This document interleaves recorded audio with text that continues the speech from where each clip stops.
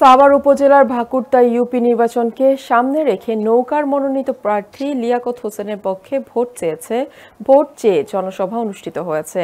সাভার থেকে staff reporter Omar Faruk জানান, বুধবার বিকেলে ডুমরাকান্দা স্কুল মাঠ প্রাঙ্গণে এই আলোচনা সভার আয়োজন করা হয়। সভায় ইউনিয়ন পরিষদ নির্বাচনে নৌকার প্রতীকে ভোট দিলে উন্নয়নের ধারা অব্যাহত থাকবে বলে প্রতিশ্রুতি দেন বক্তারা।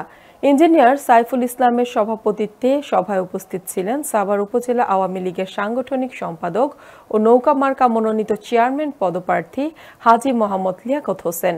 এ সময় উপস্থিত ছিলেন ঢাকা জেলা যুব মহিলা লীগের সাধারণ সম্পাদক কনক চাপাকনা, ভাকুরতা ইউনিয়ন আওয়ামী লীগের সাধারণ সম্পাদক হাজি আব্দুল বাতেন সহ আওয়ামী লীগের অঙ্গ সংগঠনের সর্বস্তরের নেতাকর্মীরা।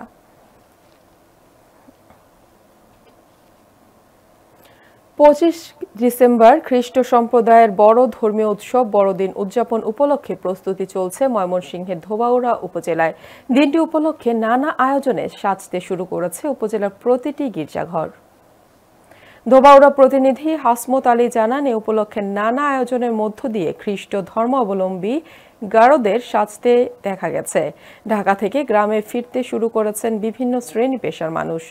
ঝাড়বাতি সহ নানা রঙের বাতি দিয়ে সাজানো হচ্ছে প্রতিটি গির্জা। প্রয়োজনীয় কেনাকাটায় ব্যস্ত সময় পার করছে স্থানীয় বাসিন্দারা। যুবক, যুবতী থেকে শুরু করে বৃদ্ধ, বৃদ্ধারাও ঢাক ঢোল পিটিয়ে বড়দিনের আনন্দ উল্লাসে লিপ্ত। এ উপলক্ষে tribal welfare association chairman Edward Napak বলেন, গির্জার জন্য বরাদ্দকৃত সকল অর্থ প্রতিটি ঘরে পৌঁছে দেওয়া হচ্ছে।